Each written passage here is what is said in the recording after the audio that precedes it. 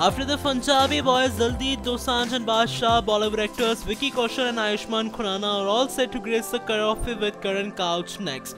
As we told you earlier that the promo of the show is out and in the teaser of the next episode of the chat show was unveiled after Sunday's show and it looks like it will certainly hit headlines.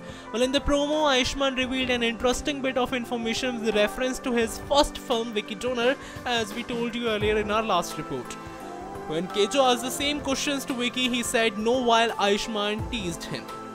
Also in the teaser, Karan reveals that Katrina wants to work with Vicky and that they would look good together. In his reply, the Sanju star pretended to faint. Yes, in these promos, this was the information shared by Vicky and Ayushmann. Including all this, you will also see both rounds, rapid fire and gaming. And if this was the promo, then more revisions will make you stunned as this episode is to the much awaited episode of the show. For more updates in Koffee with Karan, stay tuned and don't forget to subscribe. It's a report from Next9World.